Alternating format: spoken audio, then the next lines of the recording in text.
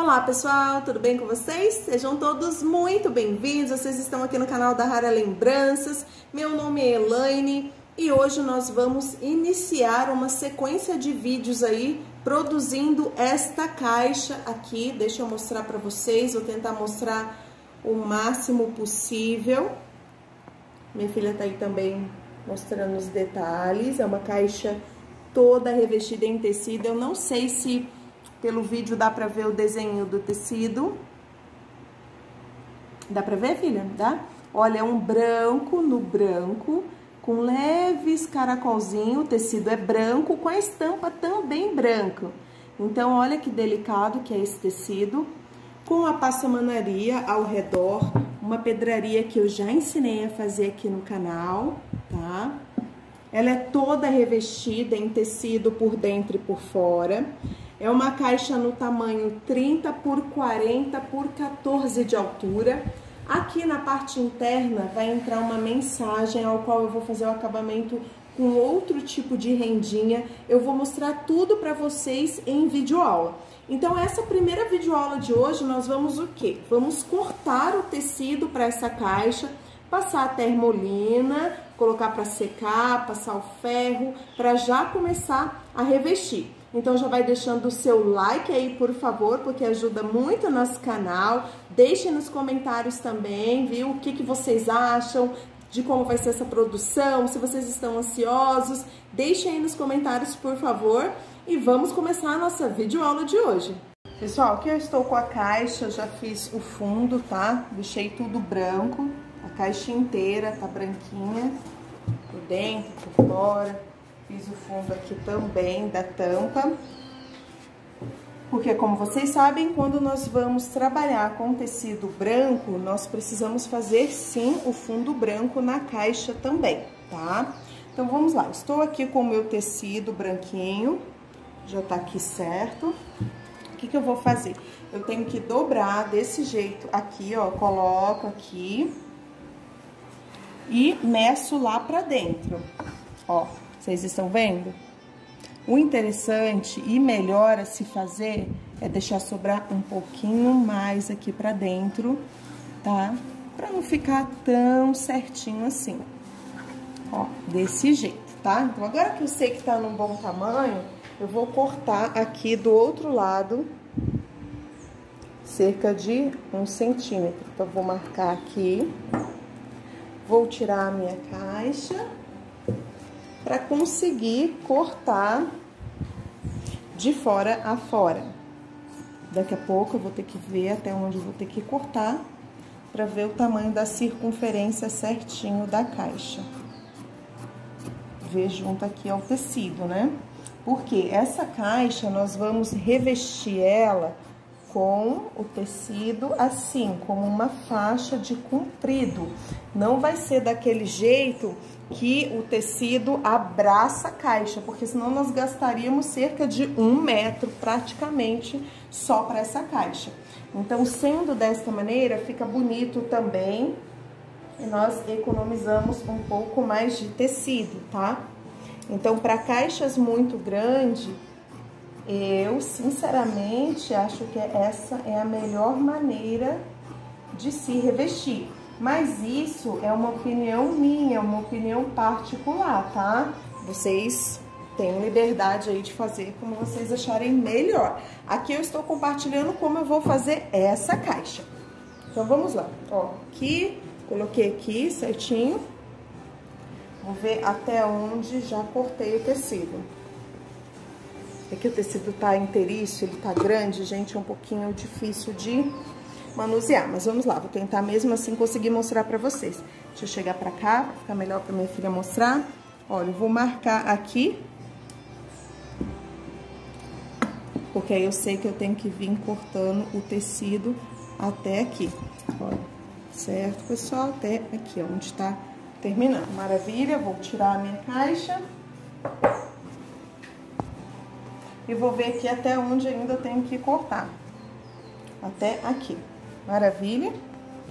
Eu sempre dobro o tecido, porque essa dobra me ajuda a manter o corte reto, tá?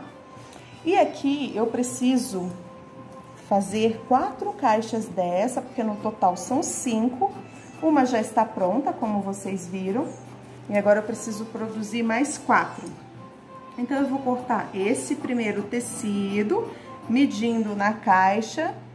E os demais tecidos, eu uso esse aqui como molde para mim. Então, toda a produção eu sempre faço isso. Corto um primeiro, medindo na caixa, e os demais eu uso esse aqui como molde, tá? Eu não acumulo moldes aqui no ateliê de maneira nenhuma, porque nós trabalhamos com muitos tamanhos de caixa. E haja espaço para ficar colocando molde, né, pessoal? Então, eu prefiro fazer isso. Medir pela própria caixa e depois usar o tecido, o primeiro tecido que eu cortei como molde para os demais. Então, vamos lá. Aqui eu vou cortar o tecido para o fundo. Ó, tá certo aqui, aqui também. Agora eu vou cortar aqui. Eu corto um pouquinho maior mesmo. Desse jeito. E agora eu vou cortar aqui, de fora, fora também.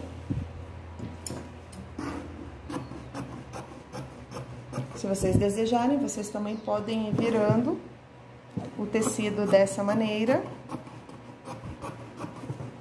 para facilitar aí o corte, para o corte não sair torto nem nada, porque se sair torto depois não vai dar certo na hora que nós formos revestir. Então, maravilha. Cortamos a lateral, cortei o fundo. Agora, eu vou medir esse aqui, porque, olha, ele basicamente vai dar certo aqui também, tá vendo? Eu tenho que diminuir pouca coisa, vocês conseguem ver? Questão de um centímetro, tanto aqui quanto na lateral. Maravilha? Então, é isso que eu vou fazer agora. Vou esticar novamente aqui o meu tecido.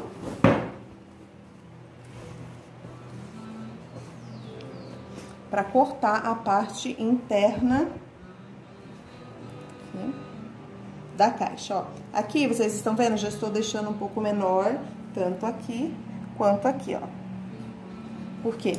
Para a parte interna, lembra que nós medimos agora e vimos que podia ser um pouco menor? Então, eu já diminuí aqui.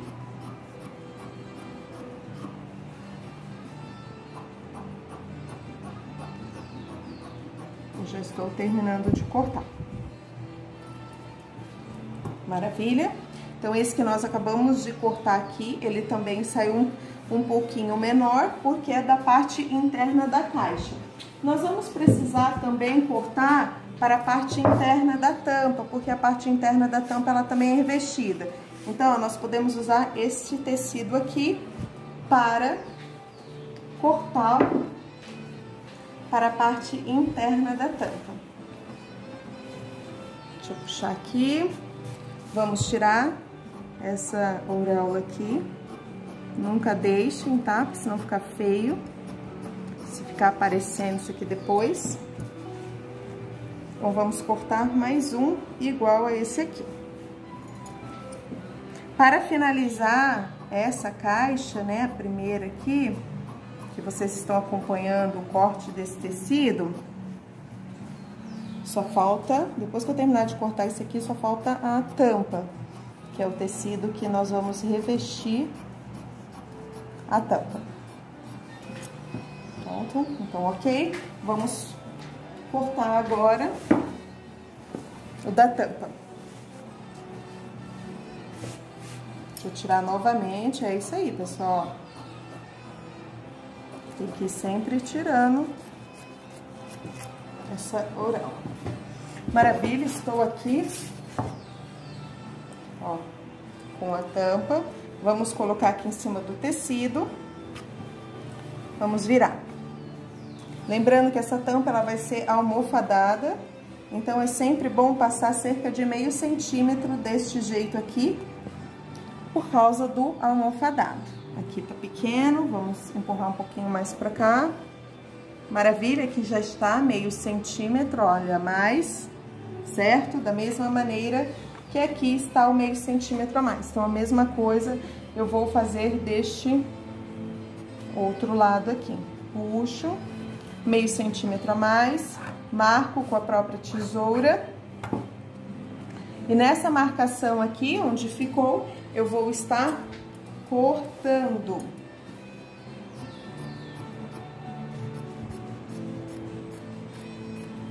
Corta de fora a fora, o mais reto que vocês conseguirem, porque se vocês cortarem torto, vai haver desperdício aí do tecido.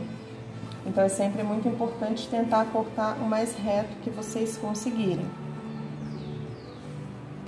Aqui, passando também um pouco, questão de meio centímetro, e vamos acabar aqui de cortar esse tecido.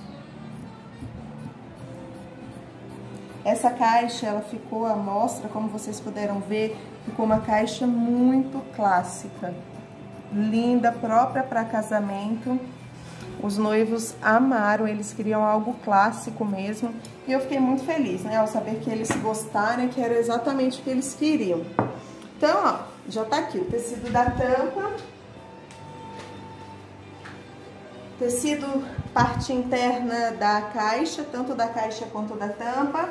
O tecido do fundo da caixa e a lateral da caixa. Então, todos os tecidos estão aqui. Da primeira caixa já está cortado. O que, que eu vou fazer agora? Vou usar esses próprios tecidos para cortar para as outras três caixas que está faltando. Música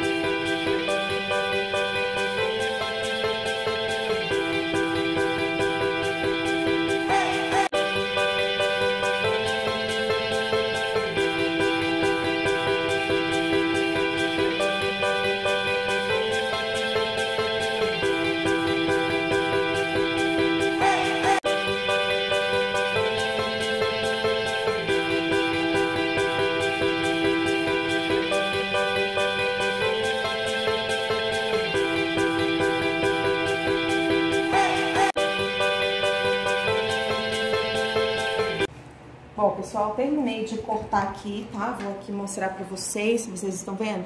Todas as peças eu cortei quatro, que é a quantidade de caixas que ainda falta para revestir. Então, ó, quatro, cortei quatro desse, que é o fundo da tampa, fundo da... Fundo da tampa não, gente, me perdoe. Fundo da caixa, fundo da parte interna da caixa. Aqui tá o da tampa, né, da parte interna da tampa. Aqui a tampa do lado de fora, né, a parte externa, e aqui de fora a fora o tecido maior, que é a tira comprida, que é o que nós vamos revestir a caixa.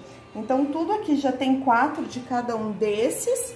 Agora, eu vou começar a passar a termolina, vou colocar no varal para secar. Na hora que vai passar a termolina, vocês estão vendo que normalmente quando a gente corta o tecido, tem as marcas de dobra do próprio tecido, tá vendo? Se vocês passarem termolina e deixar desse jeito, vai secar assim e depois não há ferro que tire essas marcas. Então, é muito importante quando vocês estiverem passando a termolina, que vocês estiquem o tecido, tá? Estica bem, porque quando a gente está passando termolina no tecido e a gente estica ele bem, ele vai secar esticadinho e sem essas marcas. Então, fica essa dica. Eu vou deixar aqui no link dessa videoaula, aqui na descrição, o vídeo onde eu mostro passando a termolina no tecido e colocando para secar. Vou deixar também na descrição a receita de como faz a termolina, porque eu sei que tem muita gente nova chegando no nosso canal que ainda não sabe fazer a termolina. Então é só dar uma olhadinha aí na descrição que vai ter todos esses links, ok, pessoal? Então, nós nos vemos na nossa próxima videoaula, já começando a revestir a caixa. Espero que vocês tenham gostado. Se vocês gostaram, deixe o like de vocês. E um beijo grande. Até mais, pessoal. Tchau, tchau.